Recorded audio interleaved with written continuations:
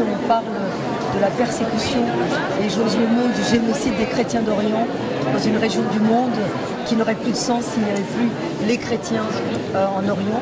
J'apprécie beaucoup ce que fait SOS Chrétiens d'Orient. J'ai pu visiter euh, en Syrie euh, leurs installations, leur travail, c'est absolument formidable. Les associations qui aujourd'hui militent pour les chrétiens d'Orient, pour faire connaître chez nous leurs souffrances, leurs besoins et leurs appels, sont des associations de salut public. Ce sont des phares dans la nuit. Il est important que les catholiques français, les chrétiens français se mobilisent pour nos frères dans la foi euh, qui sont aujourd'hui persécutés. Pour nous, de construire une école pour les enfants chrétiens à Bagdad aujourd'hui, c'est clairement allumer une bougie pour l'Irak.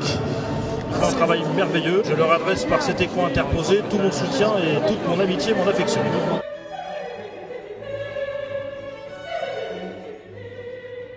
Si, tous ensemble, nous œuvrons à ce projet, à la rentrée prochaine, 700 jeunes élèves retrouveront le chemin de l'école.